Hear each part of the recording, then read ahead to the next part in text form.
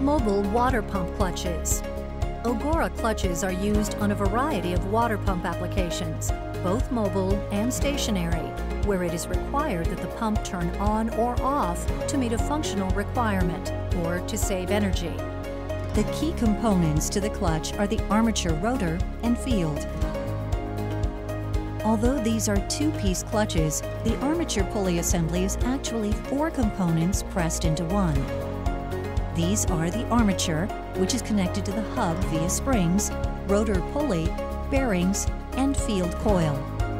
Clutches come in two base types, shaft mounted, where the rotor is mounted directly to the pump or compressor shaft, or snout mounted, where the rotor mounts to an extended snout off the pump or compressor shaft. The advantage with the snout design is that the belt side load is taken up by the snout to the shaft, so the bearings in the pump or compressor can be sized smaller. For shaft mount clutches, the field can come in either a standard outside 4-bolt mount or an inside 3-bolt mount. Clutches operate electrically but transmit torque mechanically. When current is applied to the clutch, the clutch becomes an electromagnet and produces magnetic lines of flux.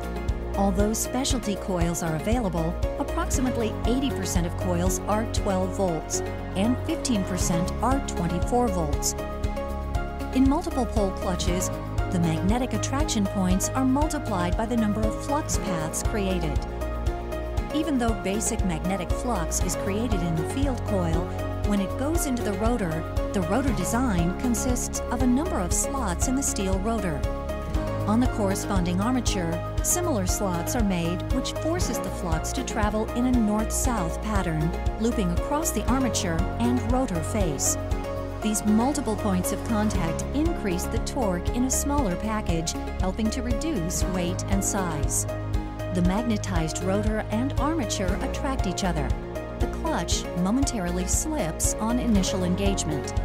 The torque is transmitted from the pulley rotor through the leaf springs and into the armature hub, driving the shaft of whatever is attached to the hub.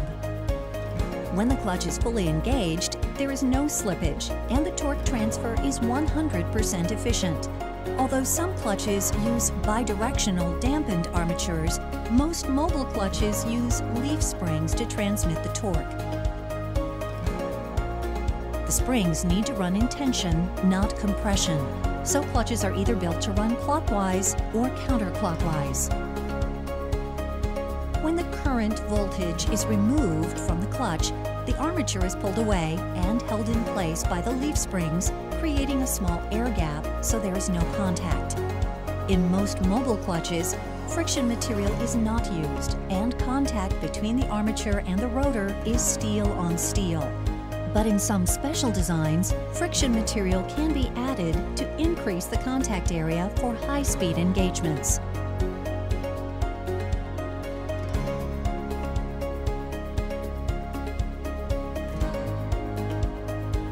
For most water pumps, the pump manufacturer or distributor will provide a mounting plate that bolts to the pump face. Install the mounting plate and tighten the four bolts to the pump supplier's recommendations.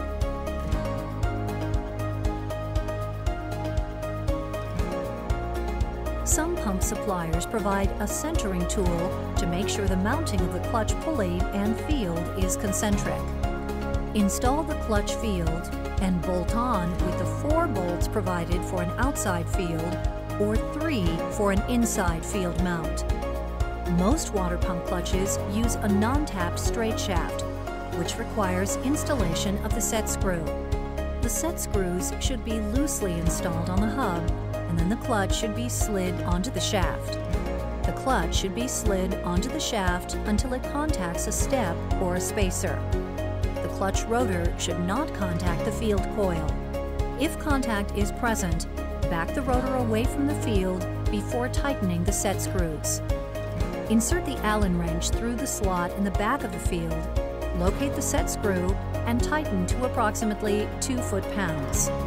Once the clutch is installed, spin the pulley by hand. If noise is present, Reinstall the clutch to make sure there is no contact between the field and the pulley. Most pump clutches have a single wire connection because they are chassis grounded. Follow the manufacturer's instructions for completing the electrical circuit and make sure prior to connecting the clutch that the clutch control is off. To achieve full torque, new clutches need to have an initial wear-in period. Depending upon inertia and speed, the wear-in period can be anywhere from 30 to 100 engagements. Burnishing should be done at a reduced RPM and at a reduced clutch load. For high inertia loads, do not cycle the clutch more than four times per minute.